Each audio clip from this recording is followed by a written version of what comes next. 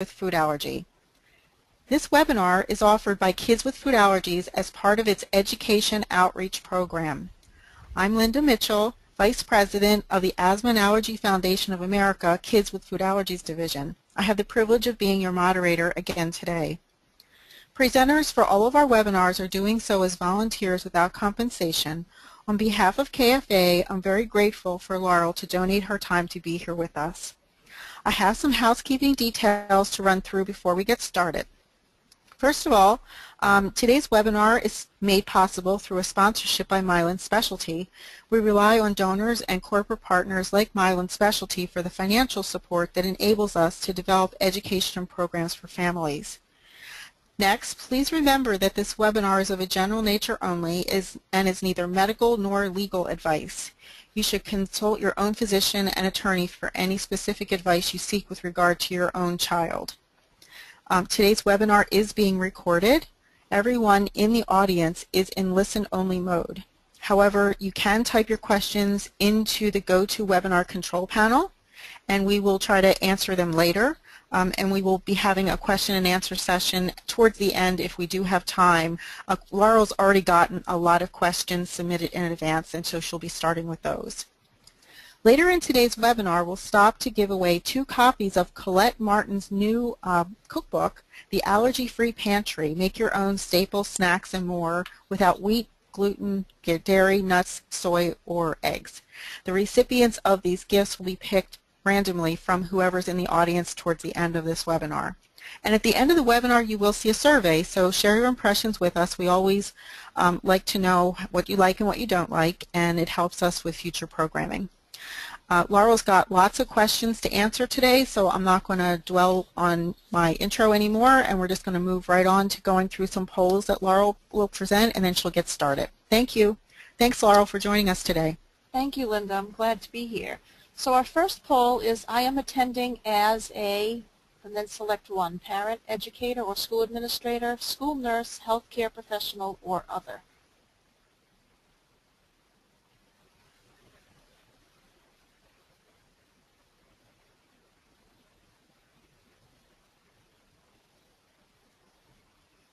And we can see the results. The majority of you are parents at 86%. We have some educators um, or school administrators, some uh, school nurses and healthcare professionals, and uh, so that's good.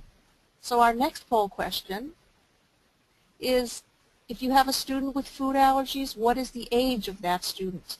Is it preschool, elementary, middle school, high school, or not applicable?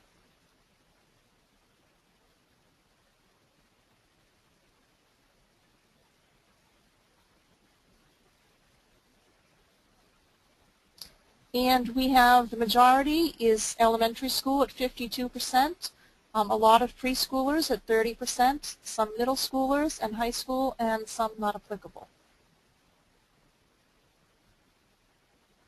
And our last question, does your student have a Section 504 plan, meaning have one currently? Yes, no, have started the process but not complete, have an IHCP instead, which is another type of plan, um, or not applicable.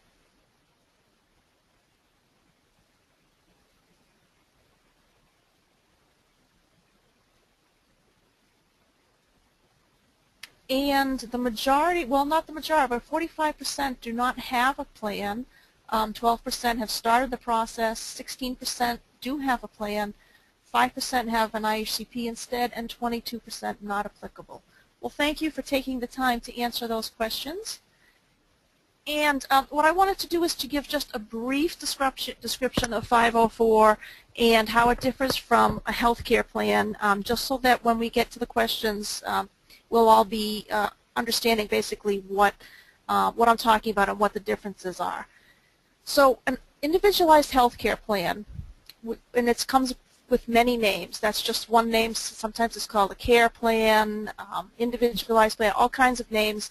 Um, but basically what it is, it's, that is a, an agreement that you make with the school nurse.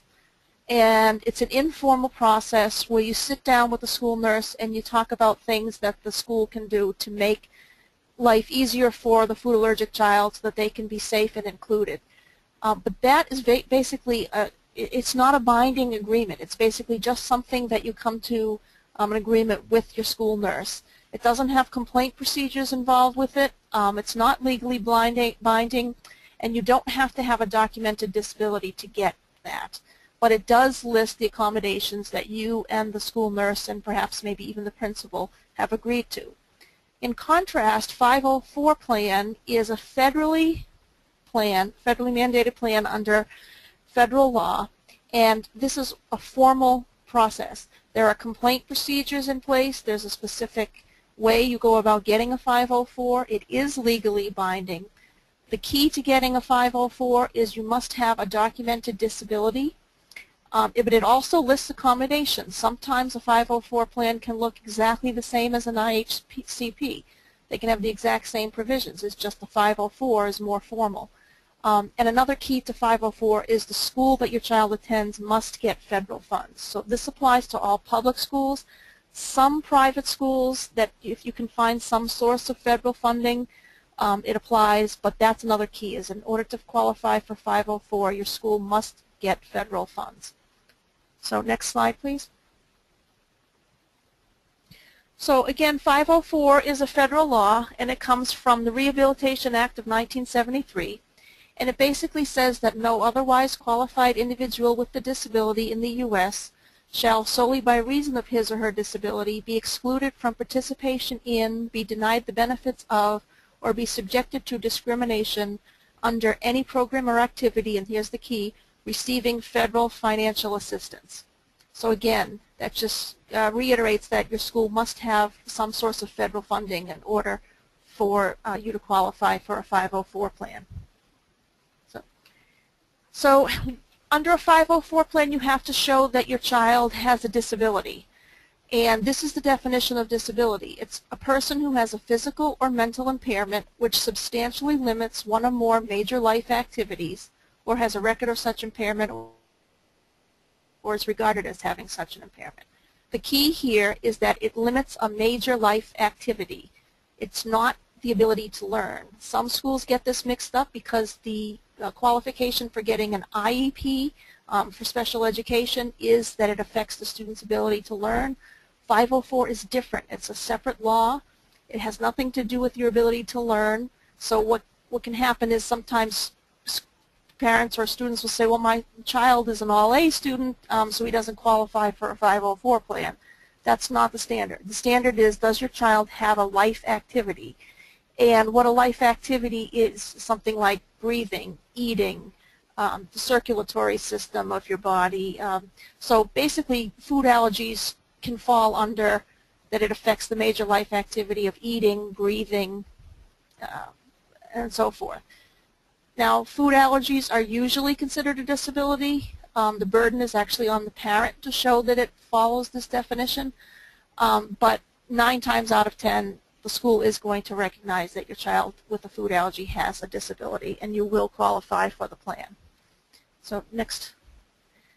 So there are specific components to the 504 law. The first is child find and what this means is that every program that gets federal assistance has a duty to find students who they think may qualify for 504. So your school has actually has to look for students who they think may qualify. Um, the next is you have evaluation, which is a meeting um, to determine whether the child is eligible, and at that point you can bring in all kinds of evidence.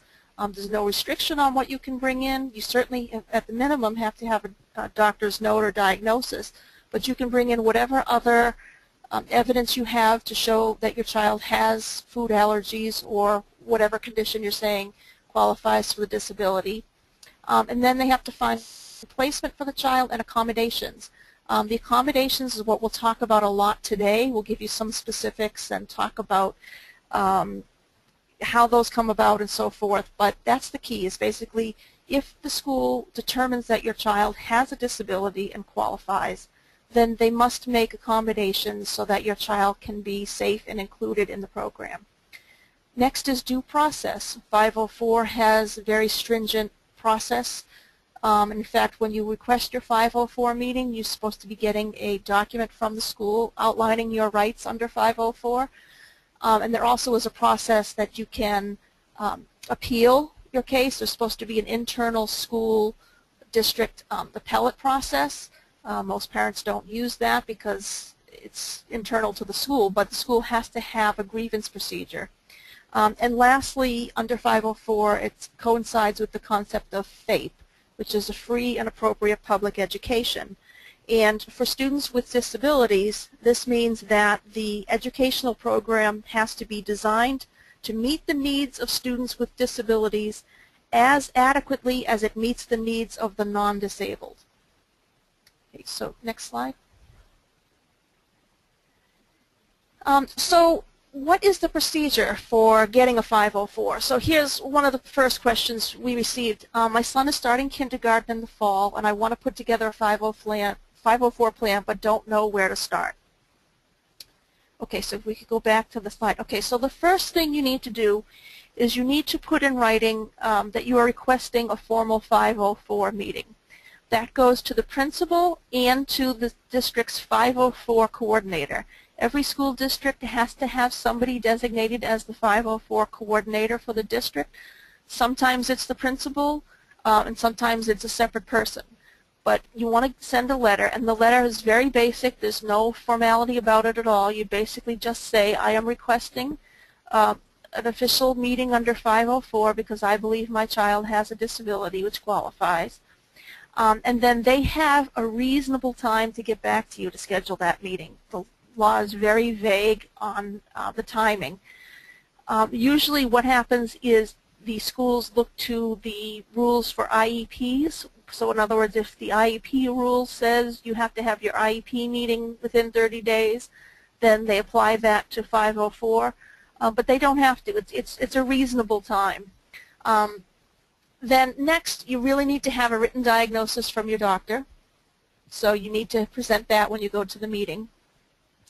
And also, um, I say when you first approach that meeting, who, now who's going to be there? It's going to be the principal, the 504 coordinator, um, could be the nurse, could be the school teacher. Um, th those are usually the main, and of course, obviously, the parents have the right to be there. Um, so when you go to that meeting, so you've given the letter, you've gotten your written diagnosis, you're going to attend the meeting, I tell people to have certain accommodations in mind that you want to present at the meeting that you think will help your child.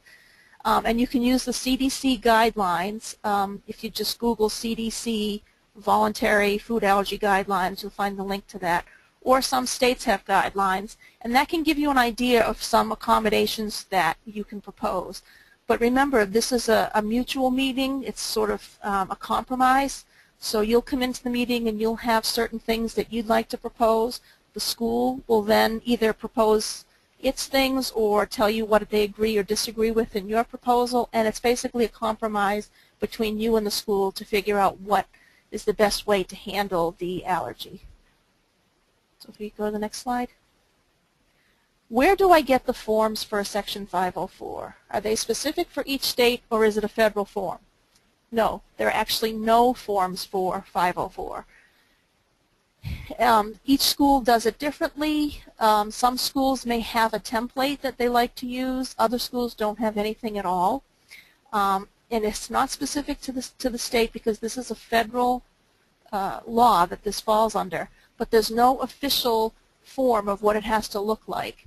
Um, if you want an idea of what some looks like, KFA does have some 504 plans um, on its site, and if you go to the KFA Kids with Food Allergies website, you can see samples of Section 504 plans. Um, and also, I, to give myself a little plug, I have a software program that will help you draft your own 504 at Green Laurel. Um, but basically, there's no set form. It's up to you and the school to come together and create the form. Now, there are certain things that the form is going to have. It's going to list your child, list the allergies, list the reason for um, why the child qualifies for a 504, and then it's going to list the accommodations. Um, the next thing is signing. Um, really, the only people that need to sign are the parents and the 504 coordinator. Um, those are the only two that, that have to sign it to make it legally binding. Um, the teacher does not have to sign. She is she or he is not part of the 504 process. Again, they may be at the meeting and they may weigh in, um, but they don't have to sign the the form in order for it to be valid. So next slide. My son is enrolled in a virtual school, but we hope to transition to brick and mortar by fourth grade. Is it better to have the 504 in place before we move to a physical school? The answer is no. Um, you can't do a 504 plan unless you know where the child is going to be. You've already arranged for the meeting at the school. It, it's really something that has to be done right before you, the school starts, and it has to be a collaborative process. So you can't have it in place before you even know where your child is going to be because you have no idea what the layout's going to be, what their policies already are. Um, it really is something that is a collaborative process that you do with the school and you just can't do it before you even know where you're going to school. Um, so next slide, please. My child is in preschool and I want to learn more about the 504 plans that might currently be in place at our local public school. How can I find that information? You can't. This is, this is uh, protected by privacy. There's a special law, FERPA, which protects students' health records and stu student um, diagnoses. Um, so there's absolutely no way you can find out who in your district has a 504 plan. The school cannot give that information out. They will not give that information out. And, and likewise, you wouldn't want them to be talking to other parents about your own 504 plan or your own child. So likewise, they cannot tell you. So they can't even tell you we have 20 kids on a 504 plan. They can't tell you anything about anyone else's 504 plan. So there's no way you're going to find that information out, unfortunately. Next slide. Is it important to have the 504 in place if our school is cooperating with our requests? Well, what I'm going to say here is that you don't always need a 504. Um, I know this may be um, controversial, but for some people just having an IHP is enough. Um, some schools have amazing policies already in place that protect students with food allergies. And um, some parents say, gee, I, I like the way the school does things. I like that they follow the policy. Um, and in that case, maybe just having an IHP, um, uh, you know, the informal agreement with the, the nurse is enough. Um, and some parents are afraid that if they request the 504, they might come off as being uh, seen as being, you know, a pain in the neck or causing problems or that kind of thing. So I know there are some parents who don't go for the 504 plan, and that's okay. You don't have to. Um, if they're cooperating, you still can get the 504.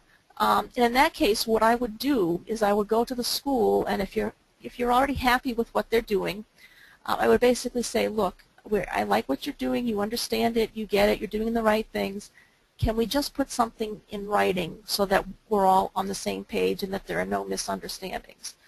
Um, and that way you can sort of get the school to put down in writing um, what they're agreeing to do without having to say, well, I'm one of 504 and this is my right, and um, because you, you, know that that's a, a, an important relationship that you have with the school personnel. So if they're already being cooperative and you're happy with what they're doing, but you feel you need um, that extra protection, then I would just approach it that way and say, look, I'm happy with what we're doing, but just so that there's no confusion and everybody's on the same page, uh, I'd like to request a 504, and then that 504 can have in it what the school is already doing um, so that you don't have to worry about renegotiating.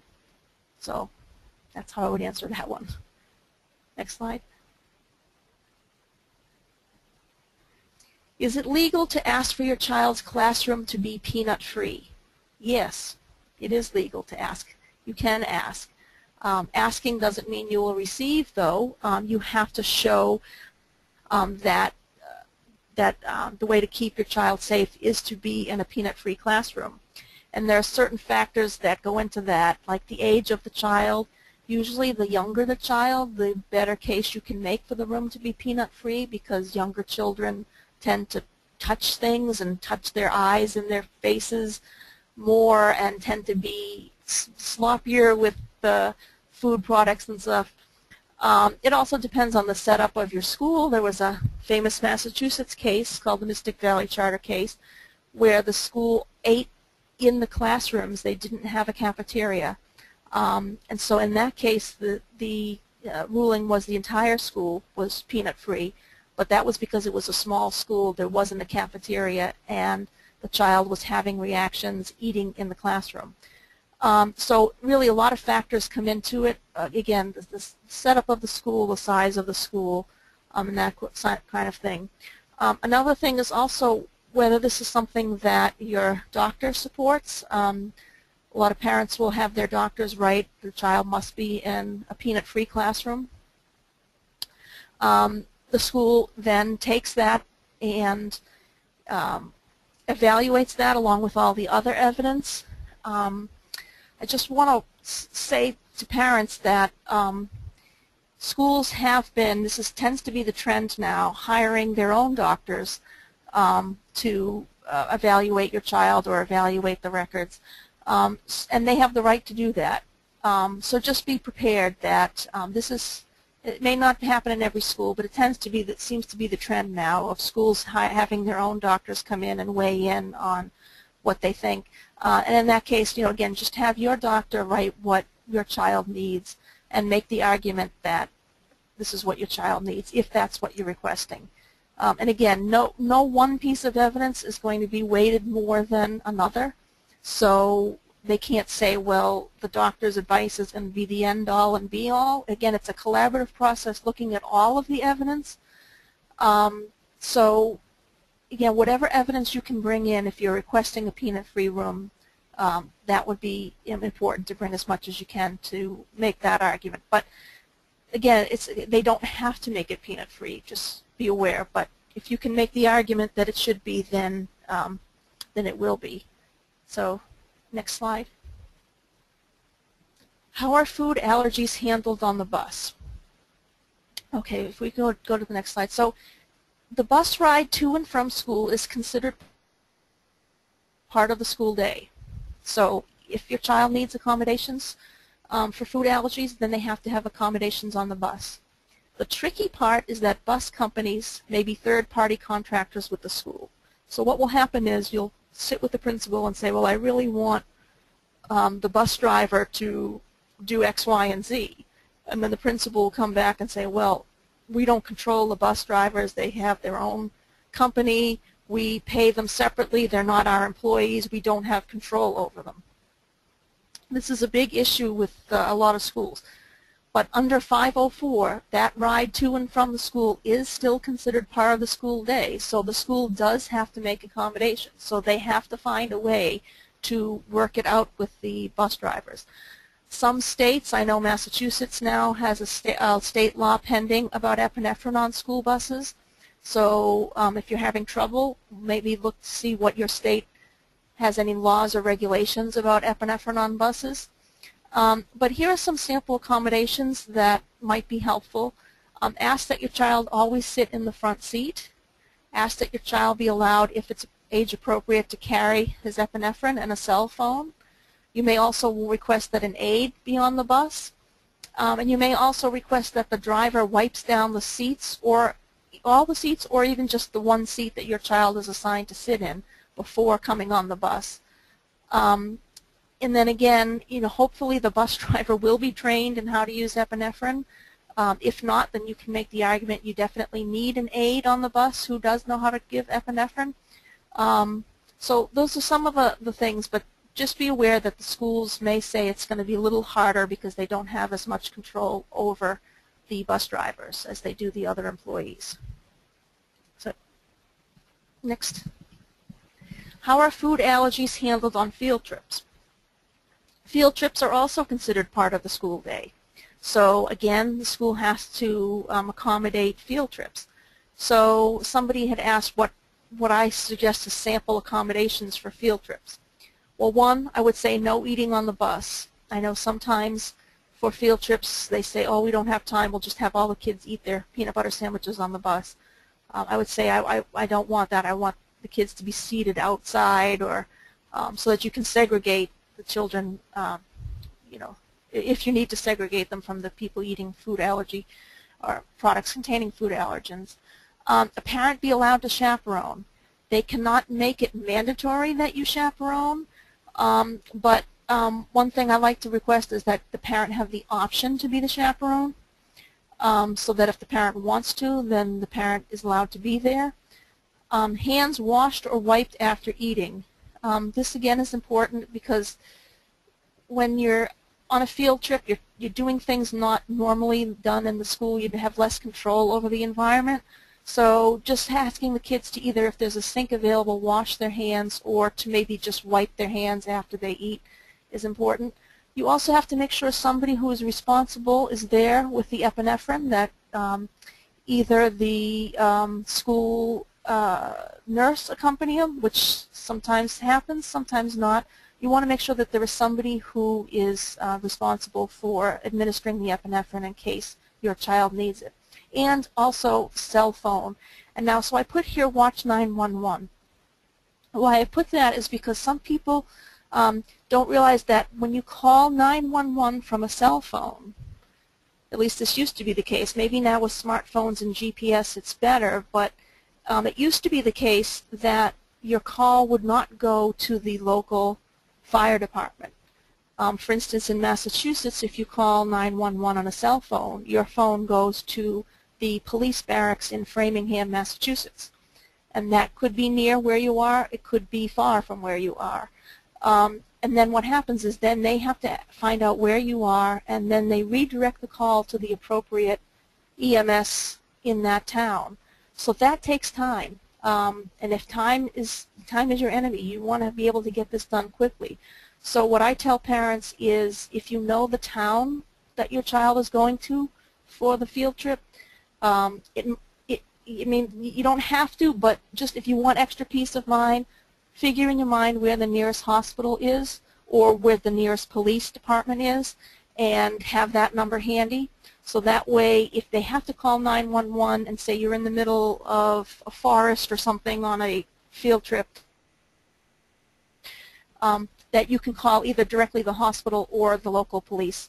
Um, and for anybody who doesn't know, 1212 is uh, the number that you can get the always can get the local police with the if, so if you dial the area code and you know the um, first three digits of the the area 1212 is uh, always a sign for police so for instance um, in my town the first number is always 781 so if I wanted to just call the police I would call 781 you know 1212 um, but anyway, but again, you don't have to. I mean, again, maybe with GPS cell phones are better now, but that used to be the problem. And so I would just say it just for peace of mind to have a number handy that so that you don't waste time uh, having it to be redirected.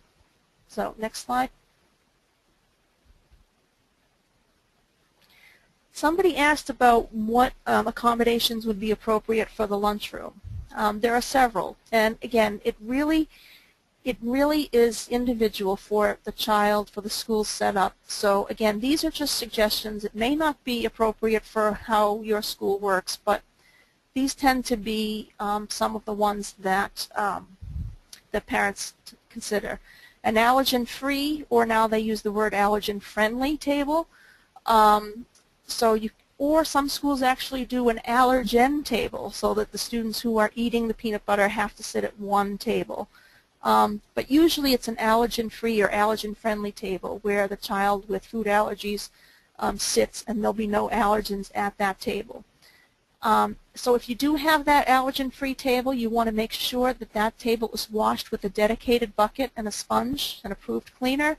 Um, so you don't want them wiping all of the tables that just had peanut butter and then taking that rag and dumping it in the bucket and then washing the peanut-free table, for instance, with that rag.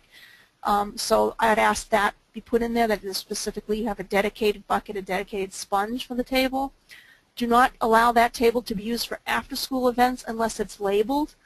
Um, so you could have a, a allergen-free table throughout the school day, everything's perfect, and then at night the Cub Scouts come in and they make peanut butter um, birdhouses, and they use the allergen table, the allergen-free table, because they didn't realize now the table is contaminated.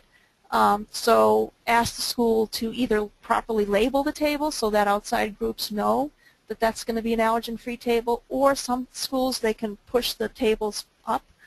Um, for my school, they would push the, the uh, allergen-free table up um, into the wall. They have those just chairs that go into the wall, um, so that for after-school activities, everybody would know they're not allowed to use that table. Um, buffer zone. This is something that comes up with a lot of children who have milk allergies, who are afraid that um, even at an allergen-free table, there may be people who have milk or milk products um, because milk is so prevalent at school.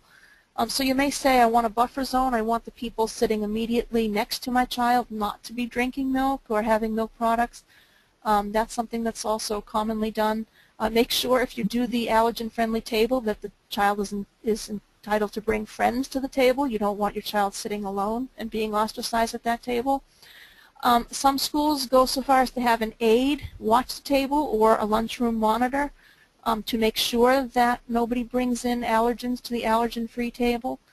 Um, that's another thing. And also, just uh, a side note, um, with the federal lunch program, if your school participates in this, um, you're entitled to have a meal of equivalent um, nutritional value that's safe for your child.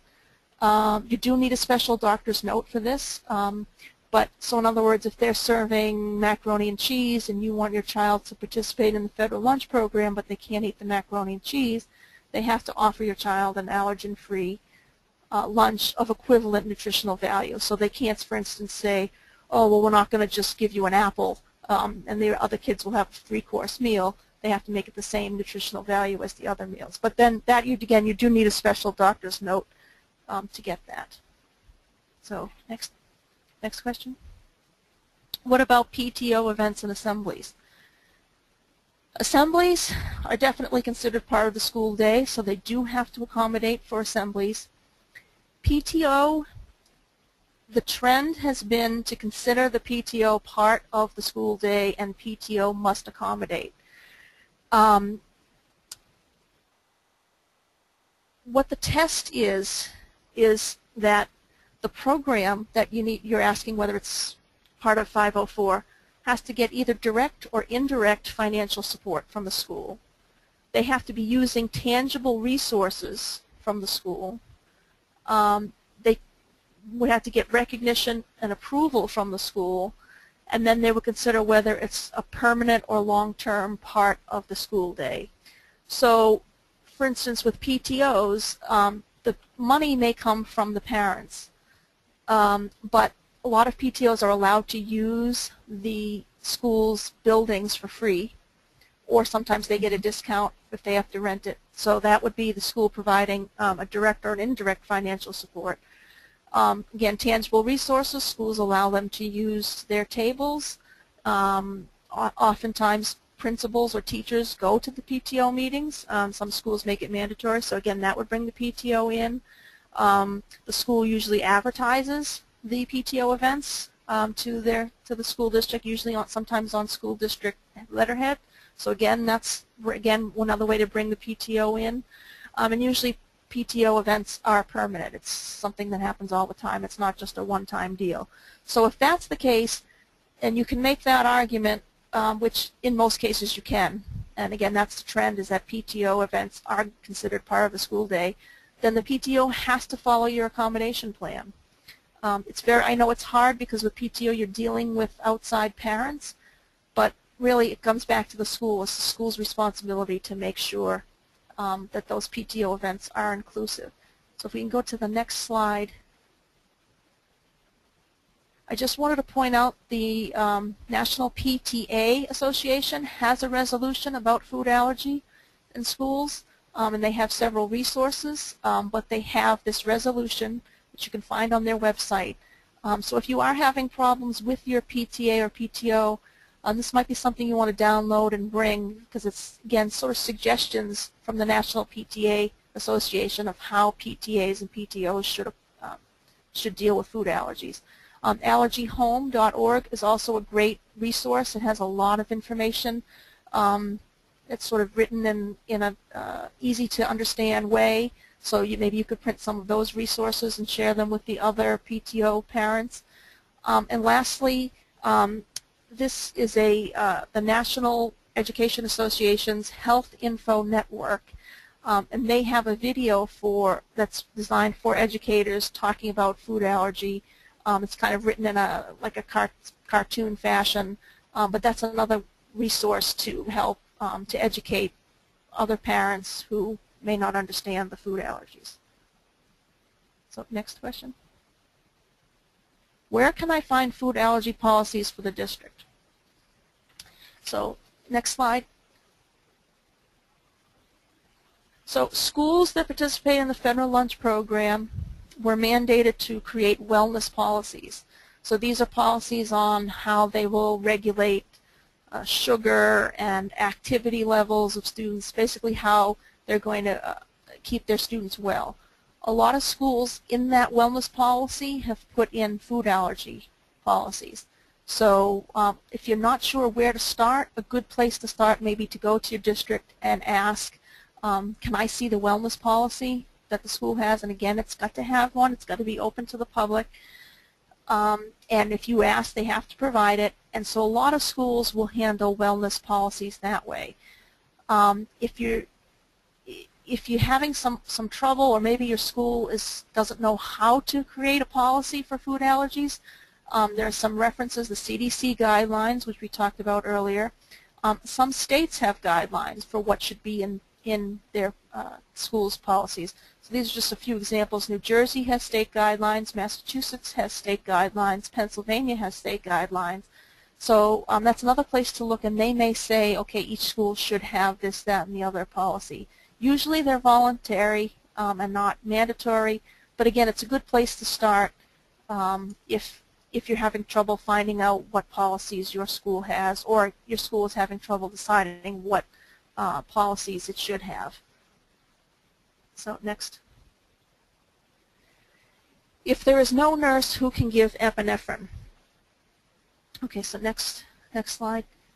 So every state has laws and regulations about designation or delegation of medicines um, and they vary. So some states require school nurses to train people. Um, it, really varies from state to state, but the key thing is that every state does have a law or regulation determining who can be delegated the responsibility of giving epinephrine. So um, if you can do some research um, about your state to find out um, what those regulations are. Um, stock epinephrine, um, so this is happening in a lot of states. And um, so if there is stock epinephrine in your school, if they are mandated to carry it, again, there has to be a procedure for who can give it. So um, that may be another um, avenue to find out um, whether, you know, who in the school is allowed to be uh, designated to, to use epinephrine. Uh, I say Good Samaritan laws because this is something to keep in mind that all states have them. So basically saying that if anybody who renders renders uh, aid in good faith, um, then they're usually protected from liability. So if, for instance, your teacher is nervous about the epinephrine, you can say, well, hey, you're protected, so um, even if you make a mistake, the law protects you. So that may give them some more incentive. Um, but the key thing is make sure you have an emergency care plan. This differs from the 504 plan and the IHCP in that it's usually about a one-page document that outlines what to do when an emergency happens. So it will say, if my child is exhibiting these symptoms, then you must give epinephrine, you must call 911, you must call these numbers. Um, so that is a very important plan, and that plan is signed by your own doctor. Um, and that's very important to have so that whoever is giving epinephrine in your school understands the procedure. Um, so at the very least, the teacher should um, understand what's in the emergency care plan and obviously the school nurse. Um, but that's something very important because in an emergency, people sometimes freeze, they don't know what to do, and having something written that they can rely on is very, very helpful. Um, there was also a question about substitute teachers, and it's very important that substitutes get a copy of both your child's 504 and that emergency care plan before they start the day. So in my son's uh, 504, we had written in that substitutes would have to go to the front office and pick up a folder about my child before they went into the classroom. Uh, and again, that's something you can request in your 504, but again, you want to make sure that if a substitute teacher comes in, they're not blindsided halfway through the school day. Um, you want to make sure that that information is shared with them um, right up front. So next, uh, next slide. What happens when I move to a new school or state? Well, if you have a 504 plan in place at your school and you move out of the district or you move to another state, that plan follows you. So if you go to the new district and the district looks at the plan and says, we think this is an appropriate plan, then they have to implement it as is. The school can look at it, however, and say, well, this really isn't appropriate for our setup because they may have a different way of doing things than the other school. Um, so if that's the case, what they have to do is they have to follow the plan until they have a meeting to establish a new plan. And that meeting should happen within 30 days of arriving at the new school. Um, and at that meeting, it's basically you're, you're having the 504 meeting all over again, um, and you start again. Um, but in the meantime, they have to follow the other school's plan until they have a chance to sit down with you and create a new plan. Uh, and again, if they like the plan that you already have, then they can they implement it the way it is, and nothing happens. It's just as if you were at the same school. But usually, schools are going to want to tweak it because they may have different way of doing things than the other school. Um, so they do have 30 days to schedule that meeting with you to change the plan. Next. What do you say when your school says, we don't do 504s for allergies? common, common question.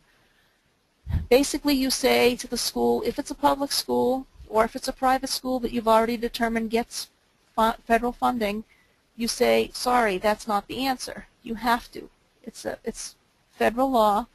Uh, again, the public school districts have that child find requirement where they have to actively find children who they think may qualify for 504.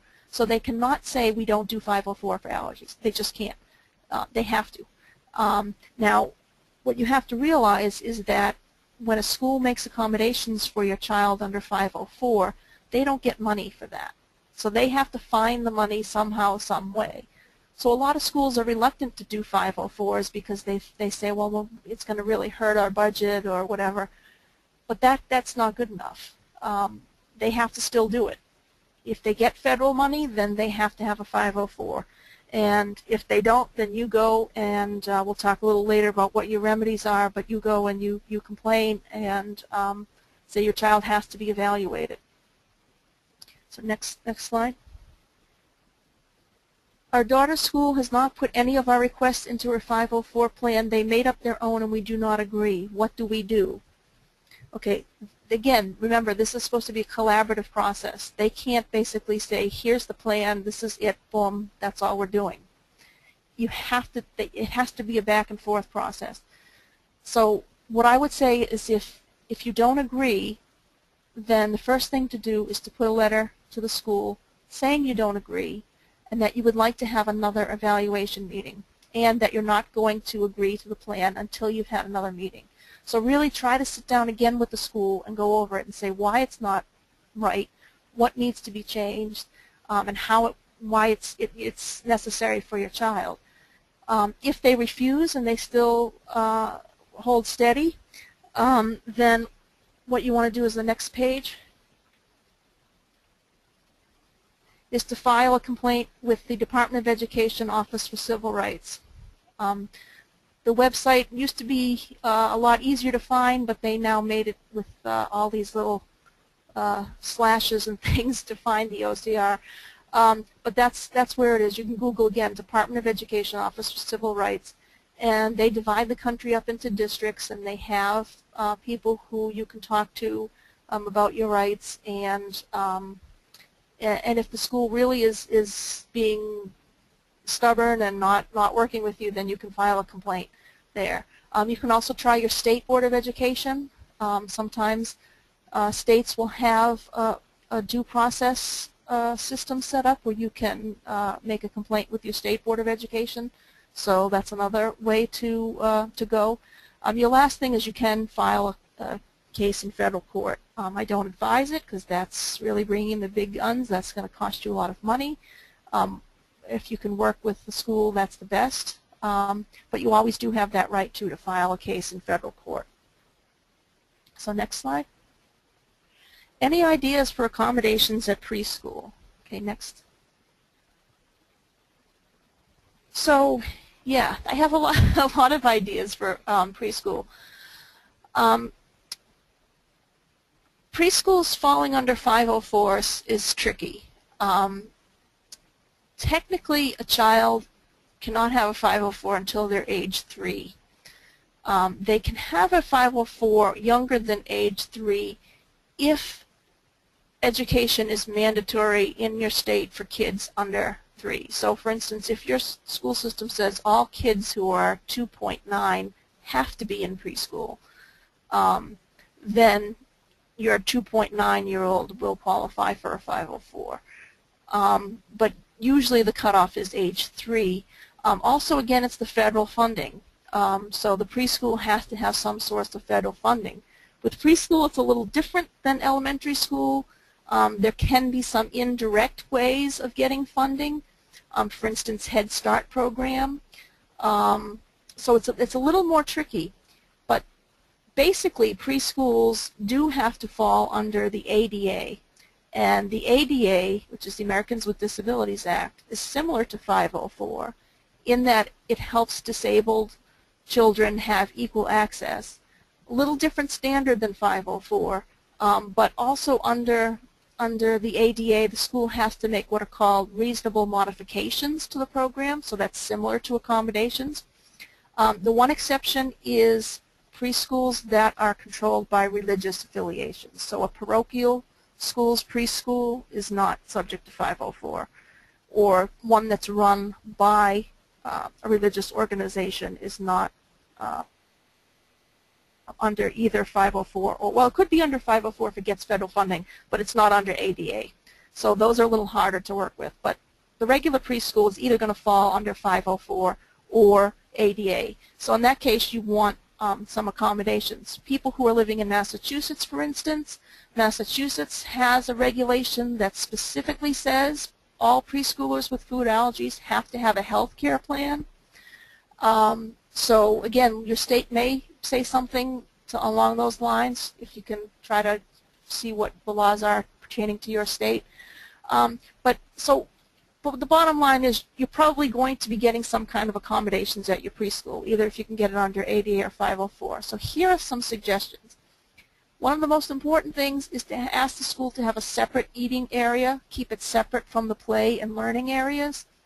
Um, preschools usually don't have a cafeteria, um, so they have to designate a, a, a separate eating area um, because, again, you're dealing with young children who tend to spill, who tend to smear things on other surfaces.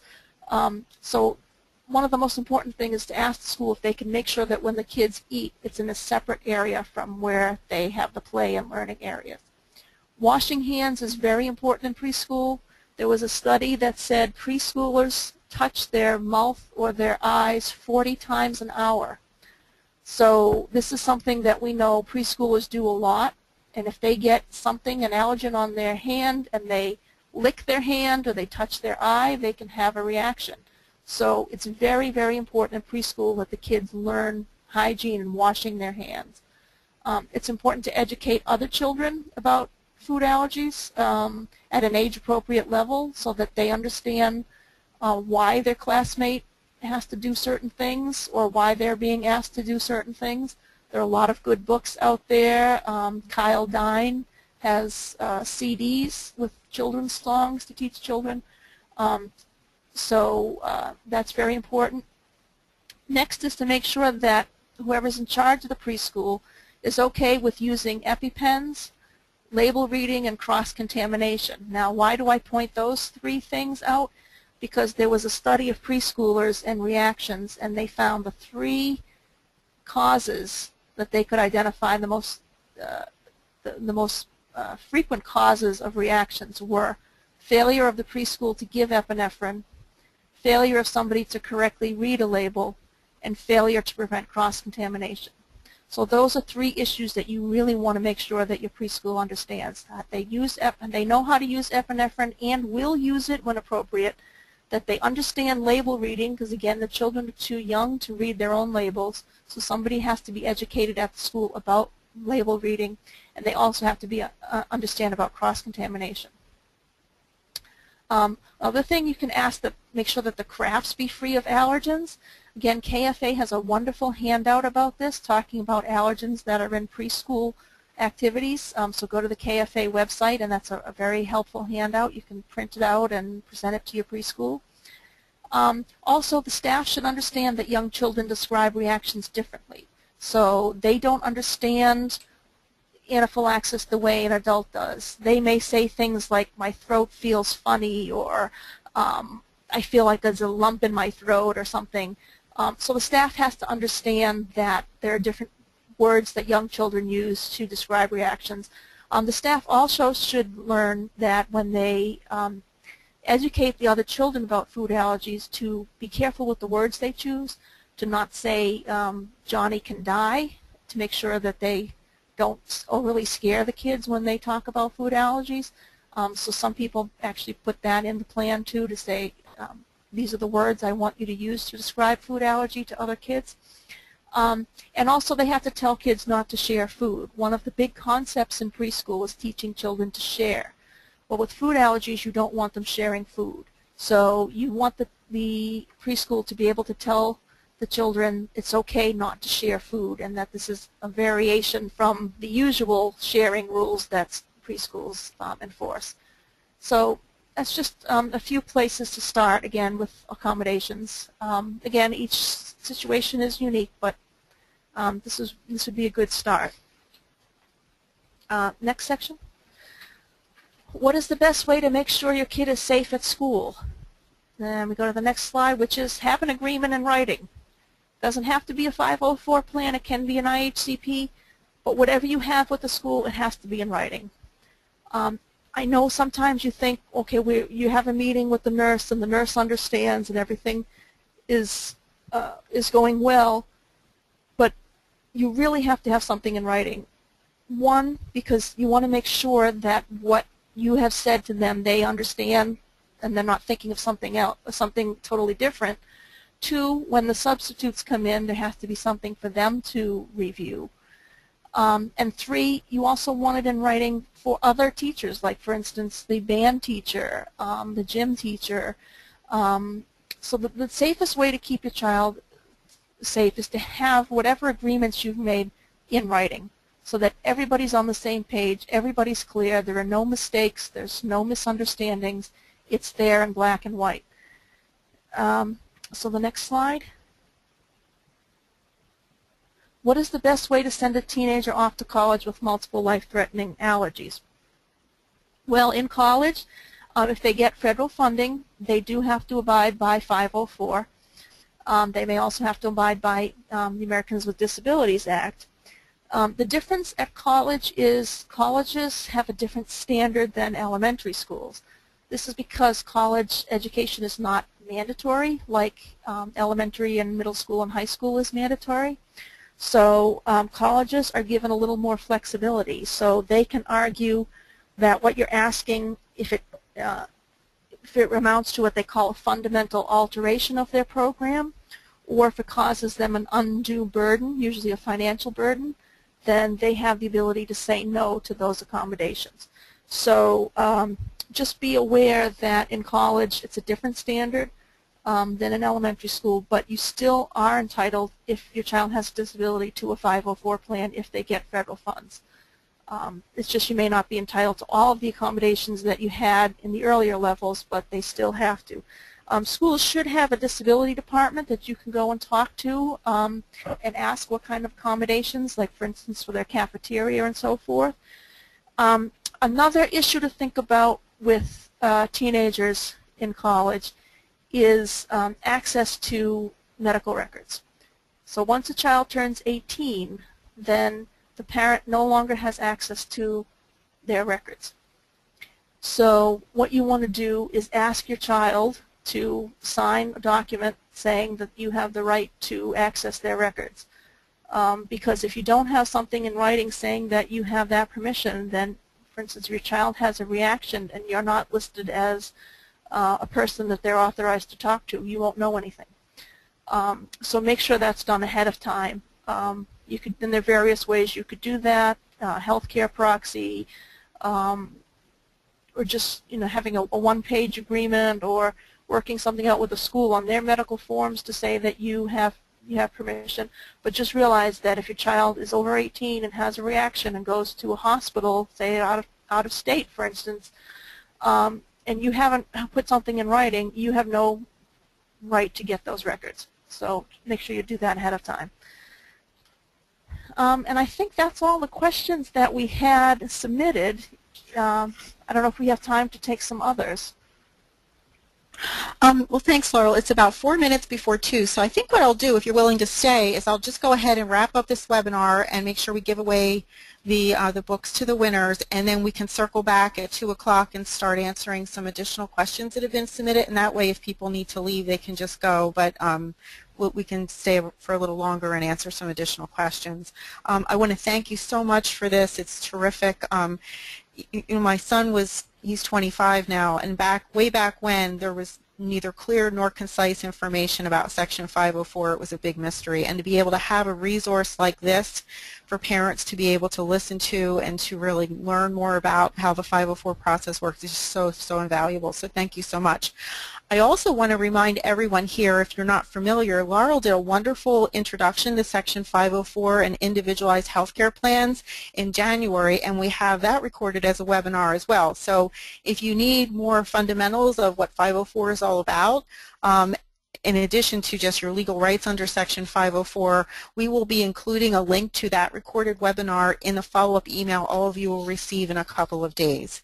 Um, so I'm going to move ahead with the giveaways. Um, we're going to give away two copies of um, Colette Martin's new book. It's coming out, I think it, it's actually started being delivered before the scheduled date of September 9th, um, but it, we have two winners, and those winners who will receive a copy of this wonderful book are Wendy Dunn and Jan Lee. So congratulations to both of you. Um, we are going to be in possession of the books in about a week, and then we will send them out to you directly. So just hang in there for another week or so, and then we'll get them off in the mail. But we will be following up by email with you to confirm that we have your contact information correctly. Um, and then some other things I want to tell you about if you're in the greater Philadelphia area.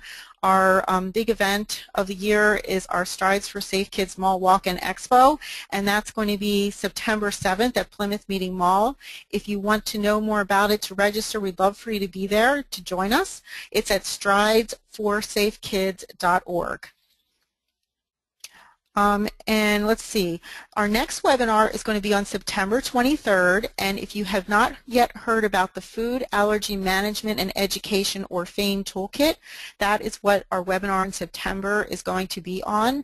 It's tools and wonderful resources to assist schools in the management of life-threatening food allergies. So if you are an educator or a school nurse, you can log in to our webinar in September to find out more about this uh, this toolkit and how you can use this free, free resource. And if you're a parent, you can find out more about this so you can utilize it yourself or share it with your school. Um, the director of the program for the food allergy management education from St. Louis Children's Hospital, um, Kathleen McDarby, is going to be doing the presentation along with Dr. Michael Pistiner from allergyhome.org. So it should be a good um, session and I hope that you can join us. So in wrapping up, I just want to tell you that Kids with Food Allergies um, is well, it, we really enjoy putting on these webinars and we're part of the Asthma and Allergy Foundation of America, the nation's oldest and largest asthma and allergy charity. Um, if you found today's webinar valuable, um, please keep KFA in your um, end of the year giving plans. We really appreciate your financial support and rely on our donors to keep our program offerings for families so rich and valuable.